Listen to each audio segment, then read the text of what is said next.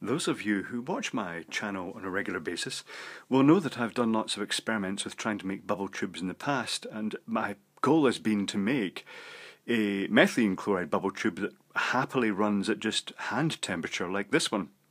And this is my first ever successful methylene chloride bubble tube because I just made this today. And I'm going to show you how I made it.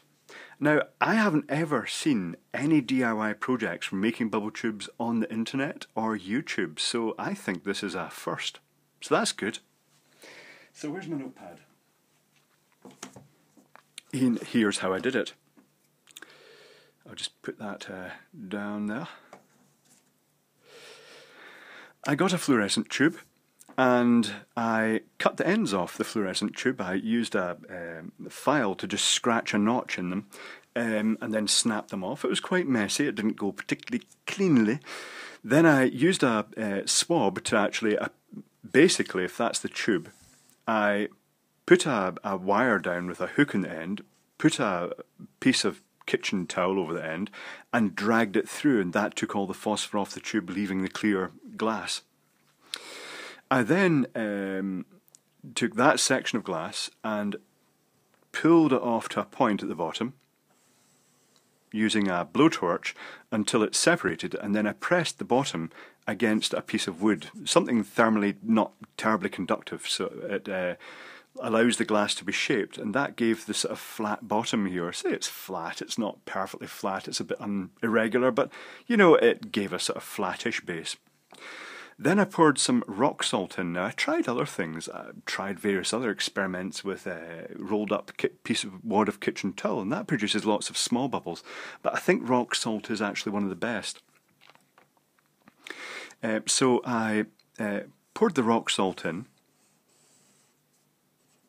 to the bottom.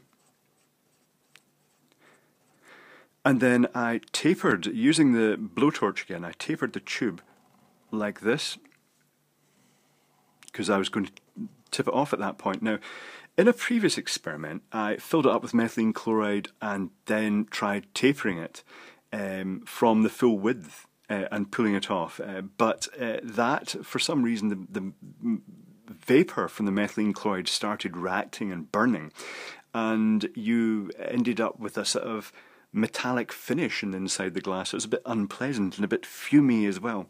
So uh, completely empty at the moment apart from the rock salt at the bottom. The reason I, I, put the rock salt in first was because this is going to taper down to a, quite a thin line and the rock salt wouldn't go through it. And then the regular end I um, heated that so it actually smoothed it off and uh, it kind of folded in just a little bit as well, which is also good as a good result. Uh, that's um, this bit here and this is the bit, uh, other section of the taper. So then I put the, the uh, I was going to say ferric chloride, that's wrong, the methylene chloride in up to a height that um, it wasn't too near where it was going to be tipped off because if you apply the flame and the methylene chloride's near, then it will suddenly boil and spray up and it could actually cause the glass to shatter at that point because the glass is hot and it's hit by the cold solvent. But before tipping it off, I wanted to draw a vacuum. Now, I tried it without a vacuum and I just couldn't get it to boil at hand temperature. It took quite a high temperature to get this to boil.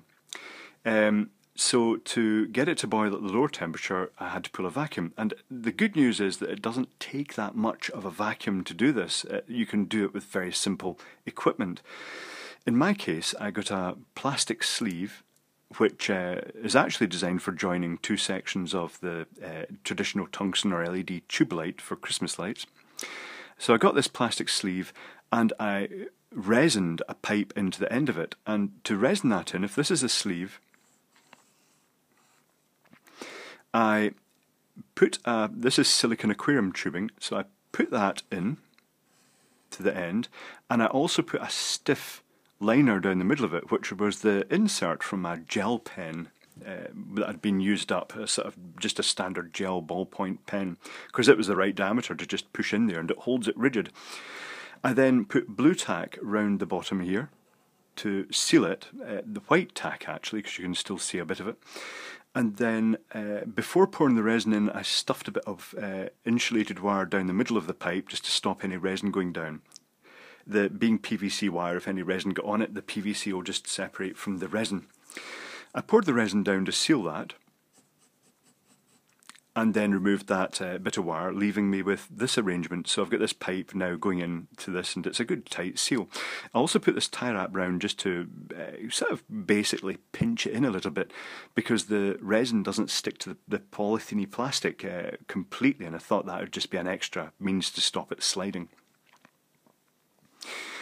Then I heated the end up gently to soften the plastic and squeezed over the top of the glass, noting that this this is the end that had been rounded first. So uh, uh with the heat, the because otherwise, if the glass is sharp, the the plastic just won't go on easily. It all gets a bit crunchy and unpleasant.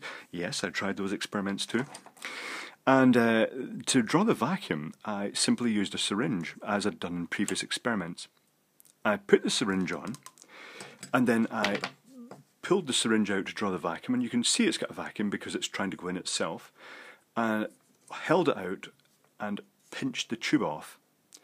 Then I pulled the syringe off, reset it in, put it back on, released the blue tube, pulled more of a vacuum, and every time I was doing this, I was getting bursts of bubbles from the bottom of this tube, uh, more and more bursts of bubbles, and I, I, after a while I experimentally just left it um, with the partial vacuum and I tried heating it and it did start boiling with the hand temperature.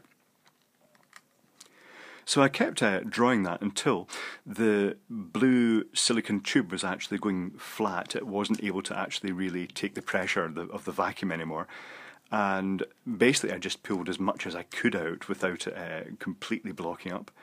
And that turns out to be absolutely fine. Um, once I'd finished that, I um, just left the syringe on, and at that point, I it was a bit clumsy, but I tipped it off with the blowtorch, uh, basically hold, rolling this backwards and forwards in front of the flame, and then uh, pulling it apart. And ideally, it would have just gently closed and you'd have got a perfect sort of tip like you get on neon tubes. But uh, no, my, mine's a bit messy. I'm very glad it didn't pull in because that would have spoilt the vacuum. But um, it has uh, made it completely vacuum tight, and I now have my bubble tube. So um, yeah, that's uh, definitely worth experimenting with. It's a good result all round.